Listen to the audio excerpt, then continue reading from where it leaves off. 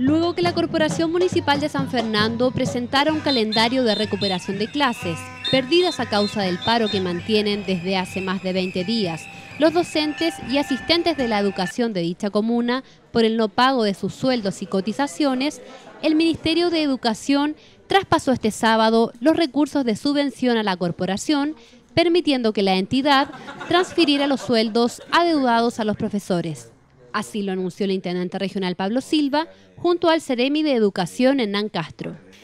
Sí, nos hemos reunido con la, con la comunidad educativa, los docentes y para docentes, eh, y con el alcalde y parte del Consejo Municipal, donde le hemos propuesto un convenio de colaboración entre ellos de, para administrar los recursos que ya empezaron a llegar ya a la, corporación. Debemos además informar, ¿no es cierto?, que, que en el día de hoy el municipio ya ha depositado las cuentas de los docentes y para docentes las remuneraciones pendientes del mes de mayo, por lo tanto queremos hacer un llamado eh, a que la comunidad educativa vuelva a clase, eh, que efectivamente a partir del día martes ¿no se retoma las clases en todos los colegios de San Fernando, eh, que no pueden ¿no cierto? seguir los niños perdiendo más clases, ya se han cancelado las remuneraciones y se están haciendo los esfuerzos para que en la primera semana de julio se cancelen las remuneraciones de junio. Por lo tanto, ya es hora de que San Fernando retome su normalidad. Hemos tenido desde ayer y hoy día una reunión con tanto los dirigentes del, de, de asistentes de educación y profesores, como también, ¿no es cierto?, con el Consejo Municipal.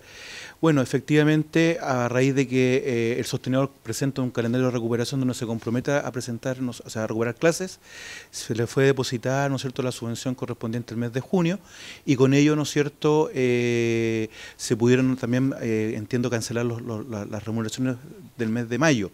Y por otro lado, con recursos, ¿no cierto?, que el municipio cuenta que son propios, eh, pagará, ¿no cierto?, los primeros días de julio las remuneraciones correspondientes a junio.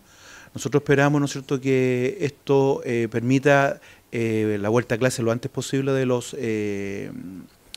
alumnos y poder, ¿no cierto?, así retomar la normalidad. Sin embargo, también reiteramos que desde el Ministerio de Educación eh, están las platas del Fondo de Apoyo a la Educación Pública, el FAEP, en la cual, ¿no es cierto?, nos va a permitir, junto con los recursos que tiene que disponer el municipio, mantener una situación lo más estable posible de aquí a final de año que permita, ¿no es cierto?, eh, sacar adelante el trabajo de la labor educativa. Son más de 5.000 los alumnos de colegios municipales de San Fernando que se encuentran sin clases. La situación se normalice en la comuna.